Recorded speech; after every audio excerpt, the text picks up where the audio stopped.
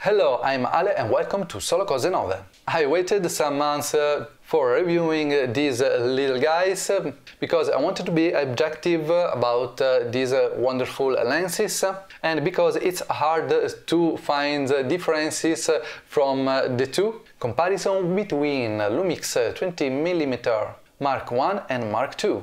On my left hand I have uh, version 1, the Mark 1, and in my right hand the Mark 2. As you can see the main difference is the color because uh, the sizes, the weight uh, and the um, build quality is quite the same but the Mark 2 is made of metal. So it's beautiful to see, it's more resistant and it's feel like a premium lens and it is. But before moving on, remember to leave a thumb up, subscribe to the channel and activate the bell so you won't miss any content like this and help the channel to grow. Thanks! Furthermore, on the website solocosenove.it you can find all about Solo World, design and build quality.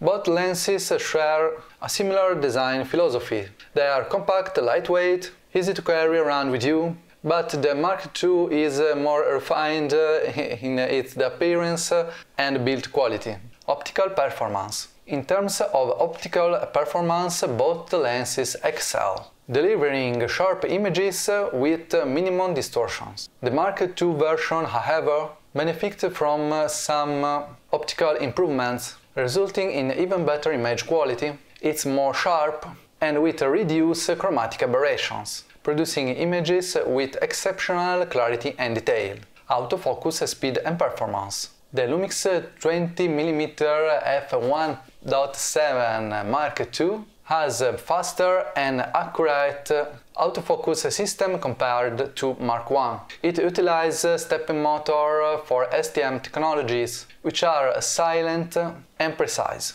This is quite useful when you take pictures of fast-moving objects. And of course, if you are doing a self-image vlogging, uh, stuff like that, with a camera and the microphone mounted on the camera, it's uh, more silent. It's good to have a silent motor. So you won't hear that in the audio track. Aperture and low light performance. Both lenses feature a wide maximum aperture or 1.7, allowing an exceptional low light performance and the ability to create a beautiful bokeh. The wide apertures also facilitates uh, the faster shutter speeds, reducing the risk of a camera shake. However, the Mark II improves uh, the quality also of vignetting effect when shooting wide open, resulting in uh, more evenly images. Price and value. Of course, the Mark II offers some notable improvements, but you have to consider also the price because you can easily find Mark I second-handed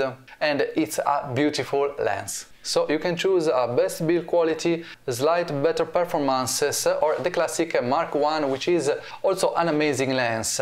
And I leave you some image here on the screen so you can evaluate yourself the image quality. Final considerations. Both the Mark I and Mark II are an excellent choice for a photographer and also for video makers because you can also uh, shoot uh, fantastic videos with uh, these lenses. Maybe it's uh, quite hard to use them in manual because the gear is uh, very thin but uh, they are fantastic to carry around with you because they're so small and they have an exceptional build quality and the image is really sharp. So if you want a silent one you can choose the Mark II or you can go with the Mark 1 because uh, they are a fantastic uh, choice in any way. And that's all for today. Thank you for following me and see you in the next exciting video. Ciao!